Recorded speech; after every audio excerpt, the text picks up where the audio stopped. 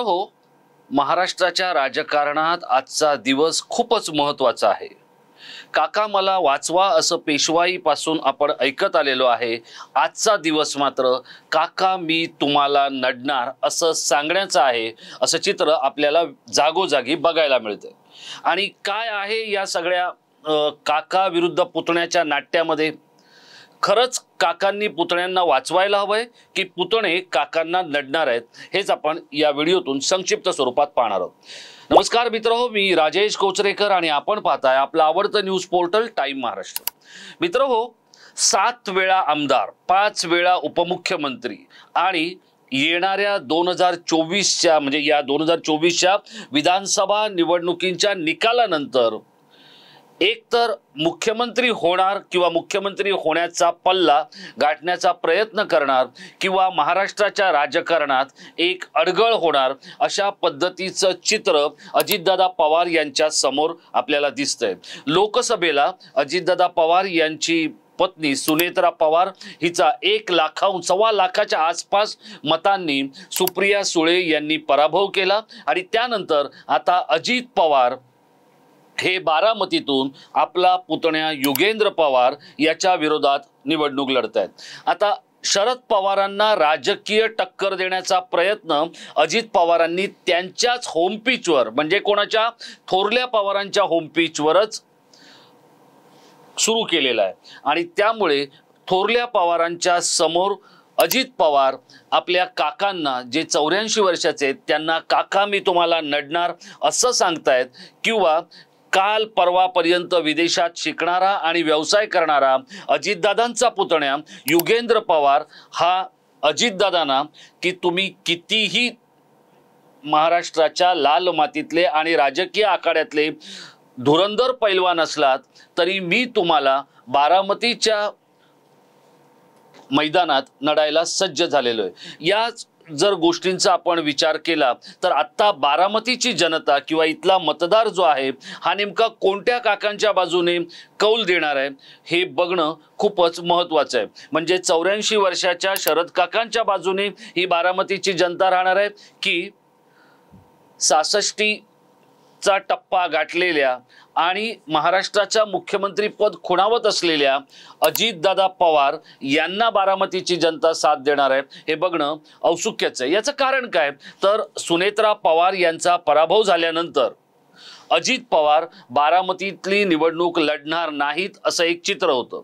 आणि आज ज्या वेळेला स- सकाळी अर्ज भरला गेला बघा या बारामतीच्या या राजकीय सगळ्या धामधुमीमध्ये एका गोष्टीला खूपच महत्त्व आहे आणि ते म्हणजे कनेरीचा मारुती. या कनेरीच्या मारुतीचं सगळ्यात आधी दर्शन घेतलं युगेंद्र पवार याने आणि त्यानंतर त्याने आपला अर्ज भरला.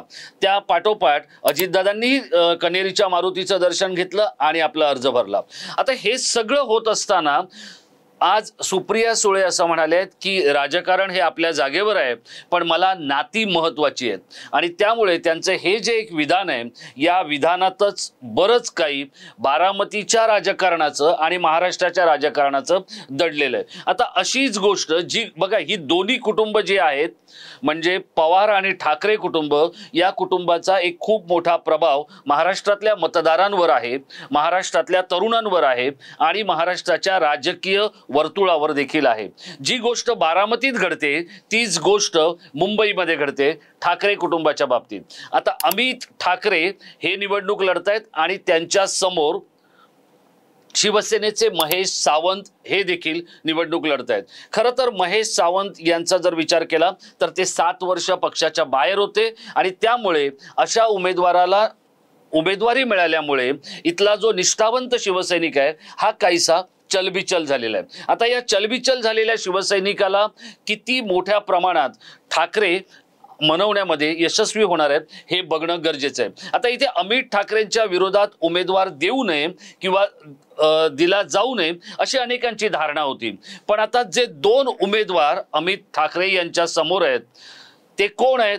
तर सदा सरवणकर हे एकनाथ शिंदेच्या शिवसेनेच्या गटाचे आहेत आणि महेश सावंत हे उद्धव ठाकरेंच्या शिवसेनेच्या गटाचे आहेत. आणि त्यामुळे उद्धव ठाकरे यांचा उमेदवार जर तिथे उभा असेल तर अमित ठाकरे यांना आणखी त्वेषाने लढावं लागणार आहे. आणि त्यामुळे अमित ठाकरे हे आपल्या काकाला जणू काही एक संदेश द्यायला तयार आहेत. याचं कारण असं आहे की या संदर्भातला एक वेगळा व्हिडिओ मी आपल्यापर्यंत घेऊन येणार आहे. आणि अमित ठाकरेंनी एक संकेत दिलेला आहे की दादू काका म्हणजे उद्धव यांना कुटुंबामध्ये दादू म्हटलं जातं तर उद्धव काका मी सुद्धा तुम्हाला नडणार आहे.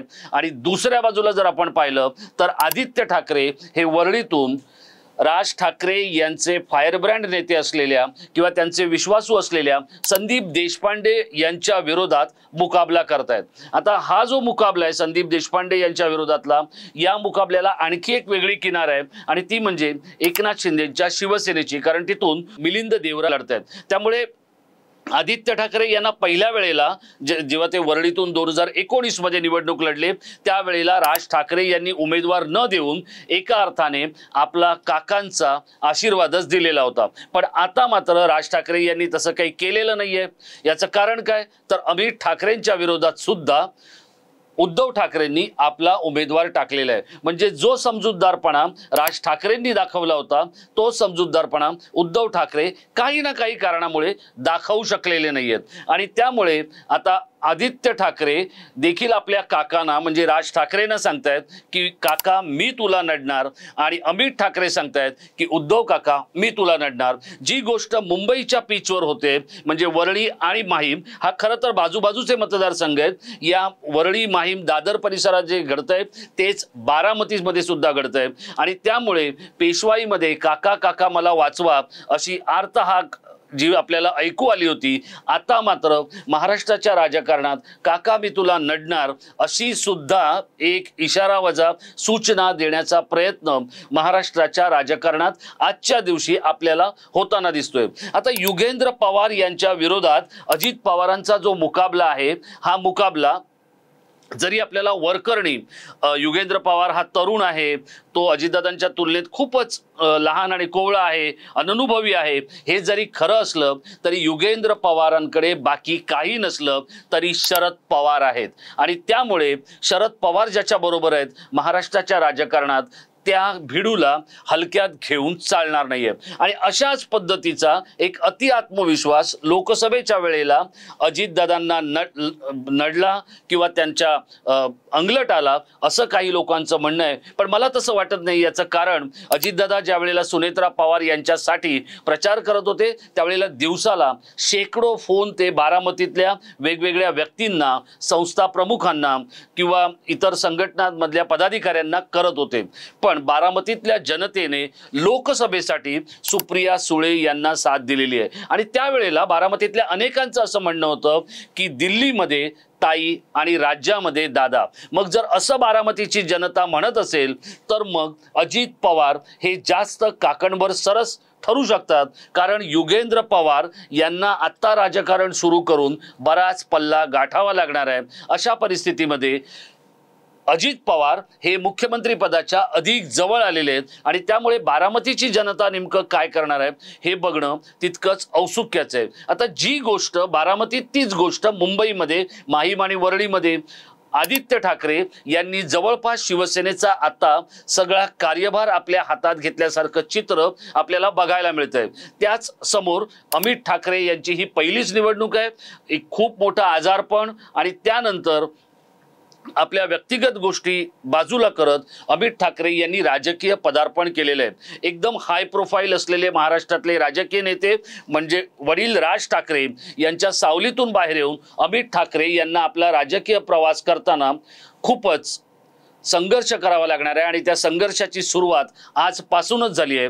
त्यामुळे अमित ठाकरे यांनी आज शिवसेना प्रमुख बाळासाहेब ठाकरे यांचं स्मृतीस्थळ चैत्यभूमी सिद्धिविनायक अशा आणि त्या बरोबरीनेच आपले पणजोबा प्रबोधनकर ठाकरे यांचं दर्शन घेऊन आज आपला उमेदवारी अर्ज भरलेला आहे. आपल्या आई शर्मिला ठाकरे आणि वडील राज ठाकरे यांच्या उपस्थितीत अर्ज भरून सुरू झालेली ही राजकीय कारकीर्द उद्धव ठाकरे यांच्यासारख्या महाराष्ट्रातल्या दुसऱ्या क्रमांकाच्या नेत्याला आणि त्याचबरोबरीने ज्याच्याकडे खूप मोठी सहानुभूती आहे त्याला देखील नडायला अमित ठाकरे मागे पुढे पाहत नाहीयेत. आणि त्यामुळेच पेशवाईमध्ये काका काका मला वाचवा असं म्हणणारे राजकीय नेते आजच्या या सगळ्या घिसाडगाईच्या राजकारणामध्ये काका मी तुला नडणार असं सांगतायत. आणि त्यामुळे आजचा दिवस हा खूपच महाराष्ट्राच्या राजकारणासाठी महत्त्वाचा ठरणार आहे. त्यामुळे कुठला पुतण्या सरस ठरतो आणि कुठला काका पराभूत होतो म्हणा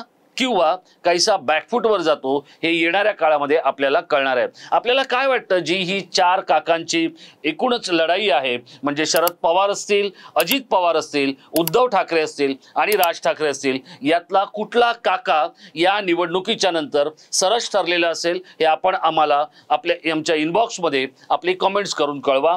आपण केलेल्या कॉमेंट्सवर आपला पुढचा व्हिडिओ येणार आहे. मित्र असेच काही व्हिडिओ पाहण्यासाठी आपण टाईम महाराष्ट्राला सबस्क्राईब करा. महाराष्ट्राच्या राजकारणातल्या महत्त्वाच्या आणि वेगळ्या अँगलच्या गोष्टी आपल्यापर्यंत पोहोचवण्यासाठी आम्ही कटिबद्ध आहोत. आपली निराशा होणार नाही इतकंच सांगतो आणि इथेच थांबतो. पुढचा व्हिडिओ येईपर्यंत स्वतःची काळजी घ्या. धन्यवाद.